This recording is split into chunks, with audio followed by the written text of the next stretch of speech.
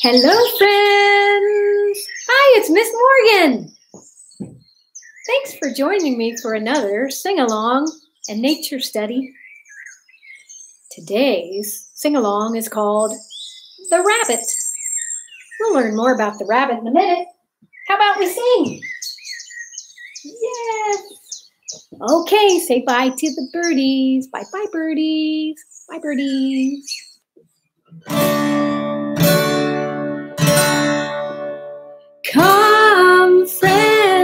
Walk with me. Come, friends, to the trees. There's so much to learn, so much to see. Come, friends, to the trees. You ready? You gonna sing with me? All right,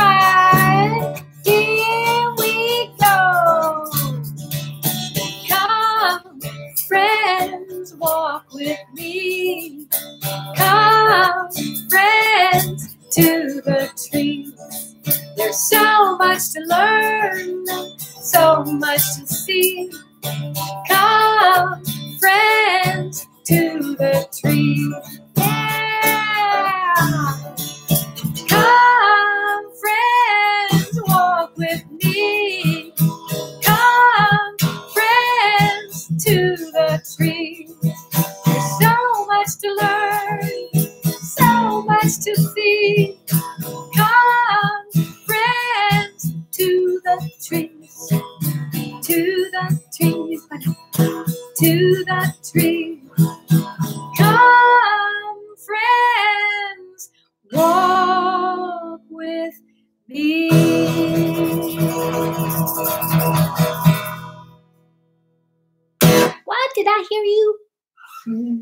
You singing.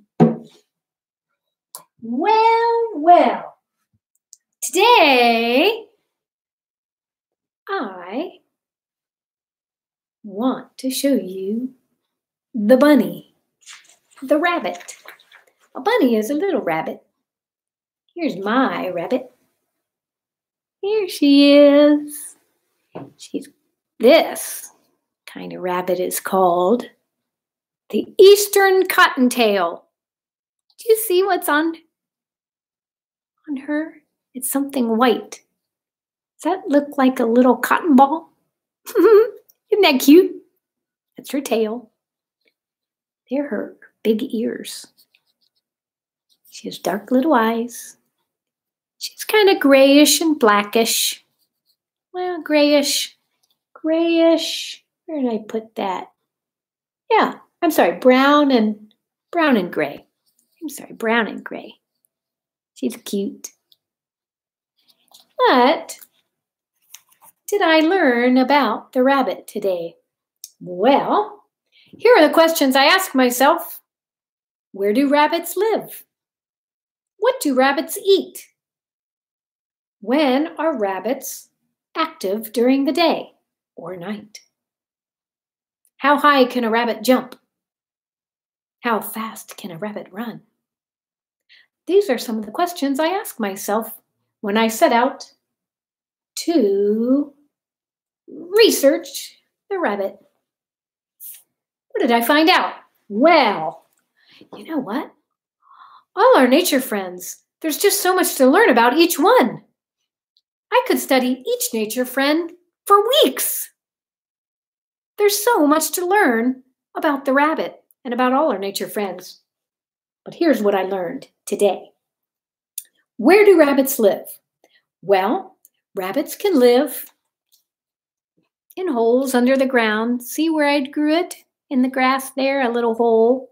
I put little bunnies in there. See them? Aren't they cute? Some rabbits can dig holes.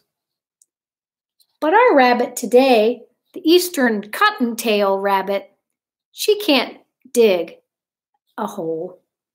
She can dig a little, little hole, maybe, to make her nest, but not a deeper hole like this. Only certain kind of rabbits. Remember, all our nature friends, there's not just one kind.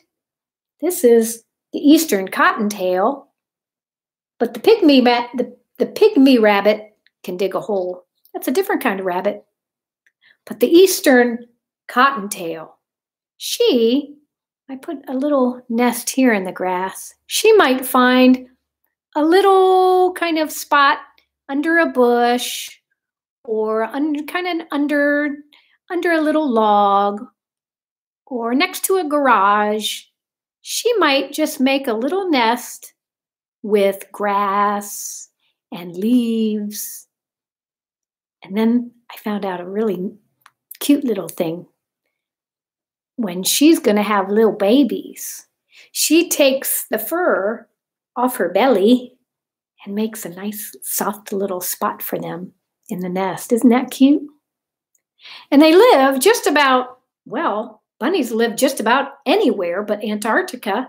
There's lots of bunnies in the world, all around. The eastern cottontail lives in the United States, in Ohio. I just saw two bunnies this morning in my yard, and they might live in your yard too if you live in Ohio or pretty much all a lot of the states in the United States, the country above us in Canada, the country below us in Mexico, and the countries below Mexico some. So there's a lot of rabbits around in the world. so that's a little bit about where they live. What do rabbits eat, are you wondering? Well, they are herbivores. Can you say that? Herbivore. Try it one more time. Herbivore. Do you know what an herbivore is? Hmm. An herbivore mostly, well, in fact, eats plants. Doesn't eat meat, just plants. And the rabbit will eat grass or hay or maybe, well, you know, they may eat carrots, I guess, they twig some, bark. I did read they might eat snails and moths too. Hmm, that's not a vegetable. That's interesting. I might have to read more about that. As I said, the research can go on and on, can't it? So that's a little of what rabbits eat. When are rabbits most active? I learned another big word today crepuscular. Wow, that's kind of an interesting word to say. Let me try it again. Crepuscular. Can you say that? Crepuscular. That's kind of an interesting word. That means they're active in the early morning when the sun comes up and the evening when the sun goes down. That's when they like to come out and look for food. You'll see them maybe if you in your yard eating the grass. How high can a rabbit jump? Do you have any guesses? I didn't really know. They can jump up to three feet high. Wow. Whoop, whoop, whoop. That's high. A bunny must have very strong legs. And they can jump 15 feet long. Wow, that's pretty long. How long is 15 feet, Sarah? What would be a good three of you laying down? Mm, I'm five feet, so three of me. Wow, that's long. They must really have some strong muscles in their legs. How fast can they run? This was amazing 25 to 45 miles per hour. That's as fast as a car. Wow, those little bunnies are quick. I guess that's where the phrase quick as a bunny comes from. That's what we say sometimes. Quick as a bunny. Let's go. Quick as a bunny. They're pretty quick. What are some other amazing facts about rabbits? Well, I learned that a bunny, that a rabbit, can see behind itself without turning its head. How do you think it does that? I didn't know that. And when I read it, I thought, well, how in the world can a bunny see behind itself without turning its head? Does it have eyes in the back of its head? No, but it has eyes on the side of its head. And so it can look forward or it can turn its eyes and look backwards. The only place it can't see is right in front of its nose, but it can see all around. And it will watch out for anything that might want to eat it for dinner. Hmm. so his eyes are very important, huh? Let's see what other fun fact I learned. Well, that was it about its eyes. I did learn that they can have, the eastern cottontail can have up to 12 little bunnies in its nest. Up to 12 little bunnies? That's a lot of bunnies. And she can have bunnies many, many, many times during the year. That's kind of a fun fact. Anything else? I did learn that the little bunnies can't see when they're born, they can't hear, and they don't have any fur. Oh my goodness. And they stay in the nest for only two weeks. Isn't that amazing? They really grow up fast. And they'll leave the nest and they can take care of themselves just after three weeks. That's pretty quick. Wow, amazing little bunnies. Why are bunnies important, do you think? Do you have any ideas? Well, I learned that bunnies are important because a lot of other animals need them to survive. Snakes might eat bunnies. Eagles, hawks, owls, foxes, raccoons? Sometimes. That's how nature works. Those animals need the bunny to survive. Wow, that's nature. Nature is all about balance, right? Right? If we did not have the hawks and the owls on this side, maybe having some of the bunnies for dinner, there'd be a lot of bunnies. There'd be a lot, a lot, a lot of bunnies. And nature might tilt and not work as well. And that's how nature works. It's all about balance, right, Sarah? well, that is the rabbit, or I like to say also the bunny, the little rabbit, the bunny. Maybe you can work on researching the bunny today and add the bunny to your nature journal. Sound fun? Yeah. Well, I wondered if I could sing you a song. I want to sing you a song that I wrote that was inspired by nature. You know, lots of artists, whether they're painters or whether they're poets, they write little stories that rhyme, whether they're writers of other sorts. They're inspired by nature. Songwriters are often inspired by nature. And this song that I wrote was inspired by our nature world and our nature friends. I want to be a waterfall for you and for me. I want my love and my honesty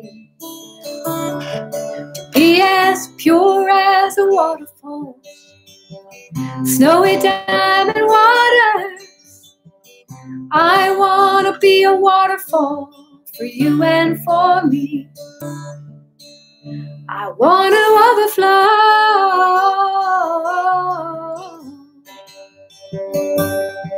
I want to overflow.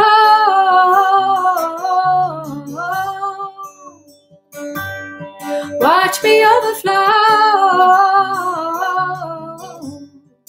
Yeah, I'm gonna overflow.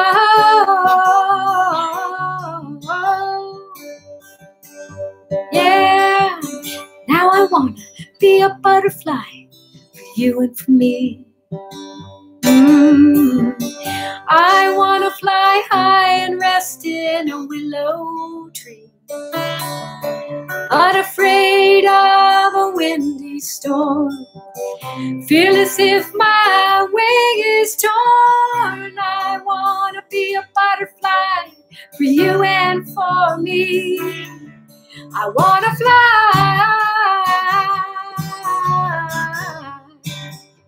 Yeah, watch me fly.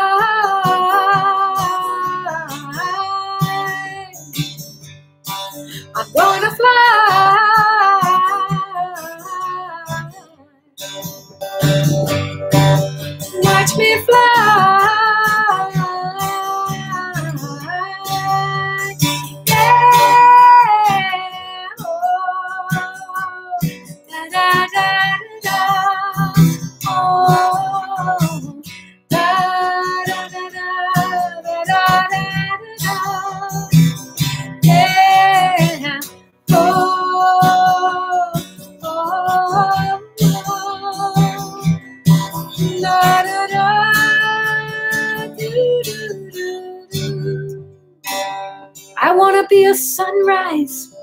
For you and for me.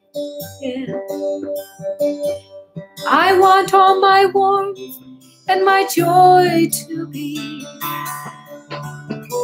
million golden arrows shining on a morning dew. I want to be a sunrise for me and for you. I want to shine.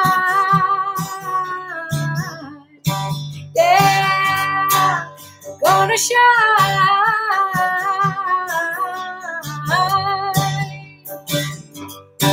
Watch me shine.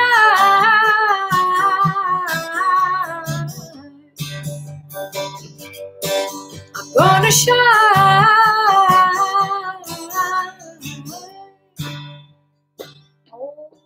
I think I want to be one more thing. Ready? I want to be a daisy for you and for me. Yeah. Now I want all my doubt and my insecurity to be a petal on a daisy, part of my beauty. I want to be a daisy for you and for me. I want to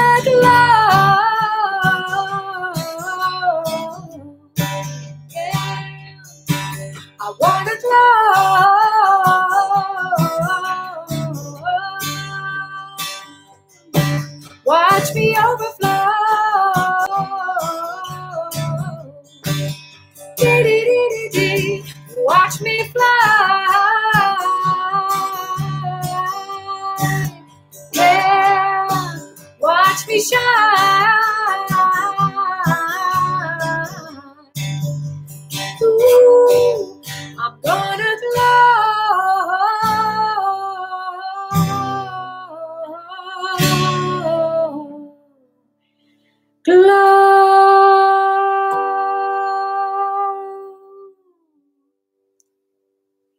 Yes. Nature is so fun and inspiring, and nature inspired that song. Well, I wrote a little song just before I got on to that same tune. Can I play it for you? I want to be a bunny for you and for me. Wait, I need my words. I want to be a bunny for you and for me. Yeah. I want to build a warm little nest underneath your tree. And when I'm happy, I'll jump up and down, wiggle my nose all around. I want to be a bunny for you and for me. That's right. I want to hop and hop and hop and hop and hop. You could make up a song like this today. I want to hop, hop, hop, hop, hop, hop, hop, hop, hop. Yes, I do. Yes, I do. I'm gonna hop, hop, hop, hop, hop. Yeah, I'm gonna hop.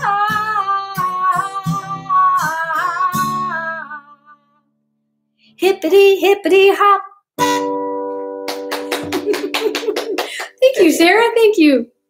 You could write a little hippity hop song yourself about the bunny. Feel free to use that melody. The melody is the sound of the song. Feel free to use that melody to write your own little hippity hop song. Well, friends, tomorrow is Friday, and we get to go some other place to learn about a nature friend. Remember, not all nature friends live everywhere in the world. Some nature friends just live in certain parts of the world. How about we go across the ocean, across the Atlantic Ocean? Maybe we could fly or take a boat. How about we go all the way to a place called Africa tomorrow and learn about a spe- special nature friend who lives in Africa? All righty, we'll go there tomorrow, okay? All right. Well, we've come almost to the end of an, another sing along. But before we sing our final song, remember to work on your nature journals, work on your nature journal, and research the bunny. Put on your research glasses. And remember, friends, remember, remember to get outside lots and lots if you have a yard or a park near you. Maybe you have binoculars and you can look closely at some nature friends up in the trees, or maybe some bunnies running around. If you don't have a yard, maybe you can find some pictures of nature because even that helps. And remember that all our nature friends are important and have a very special purpose in our nature world. And remember always that nature needs kids and kids need nature. Nature needs kids, kids need tallest oak tree to the smallest creature. Nature needs kids, kids need nature. Become the great student of this great teacher. That's right. Open your eyes, open your ears, and sit down in the middle of the forest here. Listen to the wind, the birds, and the trees. They got a great tale to tell you and me. Oh, yes, they do. Oh, nature needs kids. Need nature from the tallest oak tree to the smallest creature. Nature needs kids. Kids need nature. They're counting on us to be their protectors. Oh, turn off the tube, turn off the games, walk outside and make a difference today. Plant a new tree, clean up a stream, make the fishies home nice and clean. Yeah, from the great bear to the whales of the sea, the songbirds and the bumblebees the tigers of the east, the rainforest too. You need them and they, they need me. Who? You. That's right. Nature needs kids. Kids need nature from the tallest oak tree to the smallest creature. Nature needs kids and kids need nature. Become the great student. Become the great student. Become the great student of this great teacher.